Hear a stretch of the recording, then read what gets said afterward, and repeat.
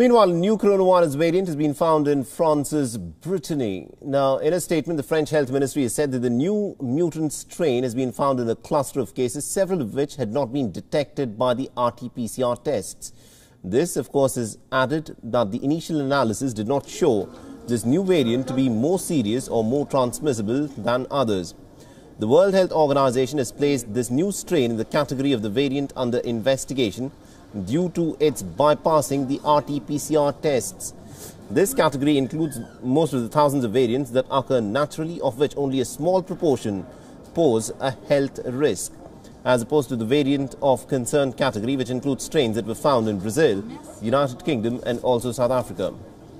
Meanwhile, researchers are investigating as to why the new variant was more difficult to detect via the RT-PCR test.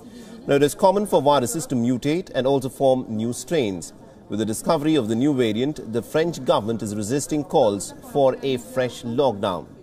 Daily infections in the country are well above the 20,000 mark. WION is now available in your country. Download the app now and get all the news on the move.